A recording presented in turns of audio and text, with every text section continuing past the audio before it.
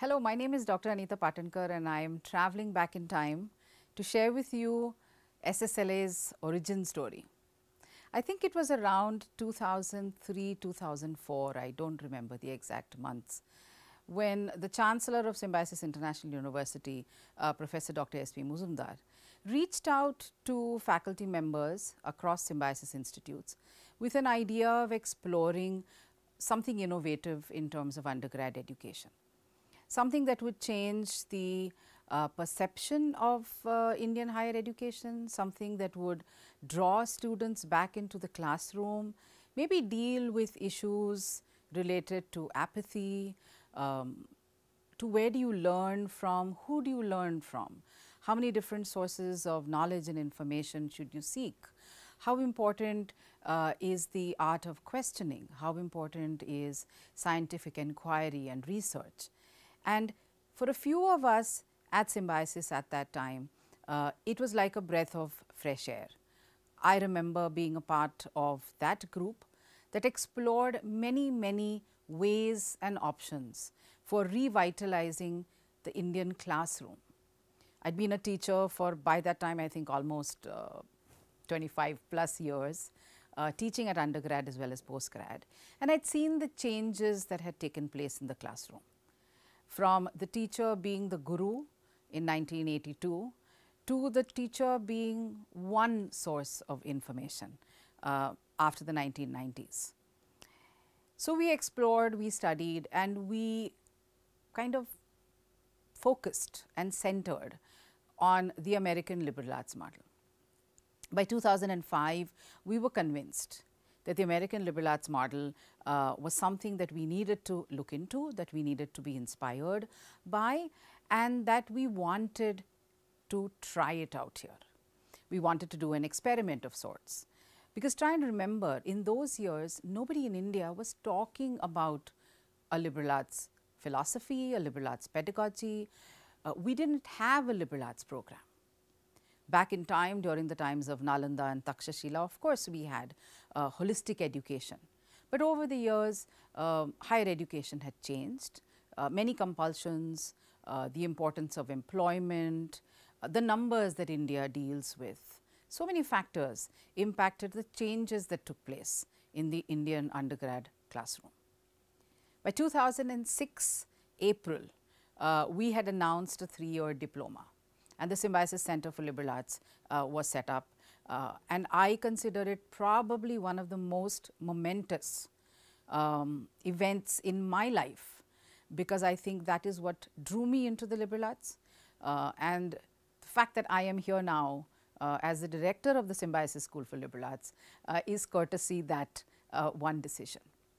From 2005 till I think 2009, um, we experimented with the liberal arts program. We were heavily impressed uh, and influenced by the variations in the liberal arts model uh, in America.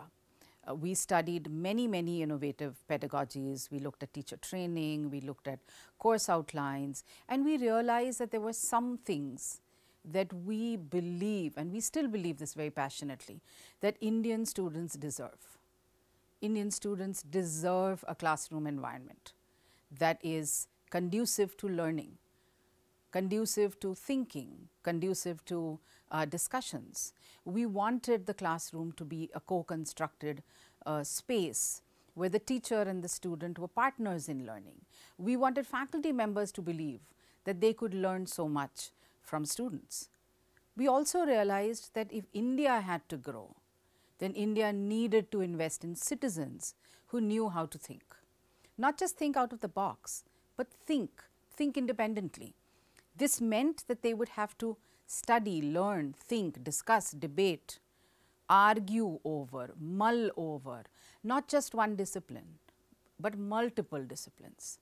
That they'd have to look at what was happening in India and see the context. They'd have to understand history. They'd have to look into the future. They'd have to read novels. They'd have to see movies, documentaries. They'd have to look at what was happening around the world. And against the background of history and what was happening in the world, they would have to learn to contextualize what was happening in their own lives.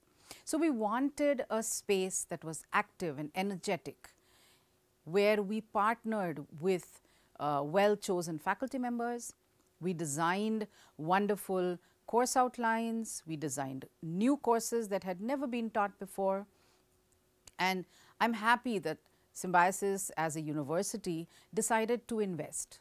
So, in 2011, when the Symbiosis School for Liberal Arts opened its doors literally um, to every young student who'd graduated from the 12th uh, standard, we opened it up with this promise that we would deliver a four year program where students could learn to think, where students would learn to realize the power and the potential of their own minds and where these minds would be nurtured.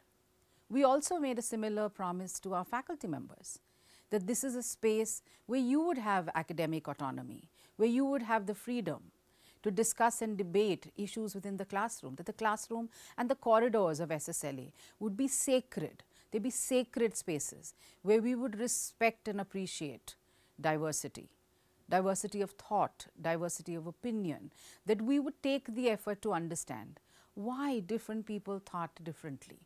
Why does someone not agree with what I say? Why do I have to invest in the time and the effort to try and understand somebody else's perspectives. So, from 2003, 2004 onwards, my personal journey with the liberal arts began. Through the Symbiosis Center for Liberal Arts, which still offers a three year diploma, into the uh, setting up of India's first four year liberal arts program, the Symbiosis School for Liberal Arts, which now enters into its 10th year. We are nine and a half years old and it's amazing for me to see how far we've come. From 2003, 2005 when no one knew what liberal arts was, I still remember in 2005 traveling across the country telling people what liberal arts is, what liberal arts could mean for their children and the potential of a single mind. It is with that promise of nurturing minds and creating a safe space for faculty, staff and teachers that the Symbiosis School for Liberal Arts was created. That was our dream and our vision and it still remains.